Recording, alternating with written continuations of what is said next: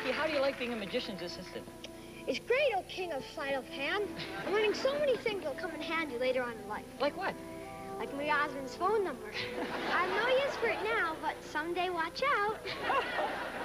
While we've got a moment here alone, is there anything else you'd like to know? About Marie? No, about magic.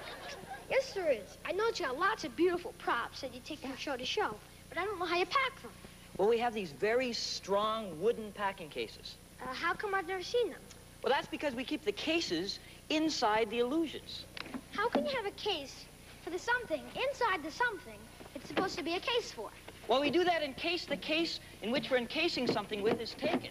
In which case, we have to take our case to court in order to get our case back.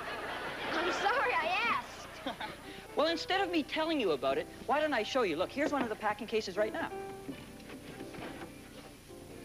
As you notice, it's completely empty. That's because it's not encasing anything right now. Put that back on, and I'll kind of show you how it works. There we go.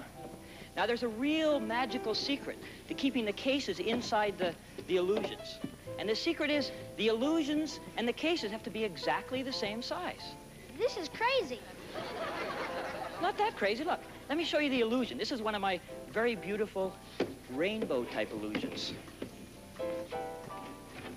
And as you can see, the illusion is completely empty also.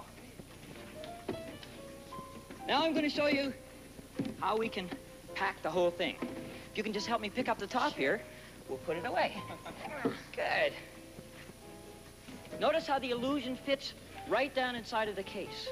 Oh.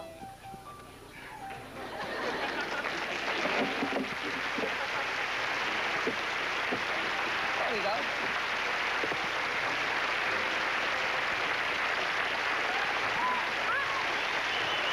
I don't...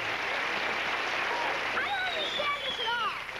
You see, I don't even know what the first box is for. Well, that's easy enough. That's the seclusion illusion. Oh, what's supposed to happen? Well, why don't you ask Marie? All right.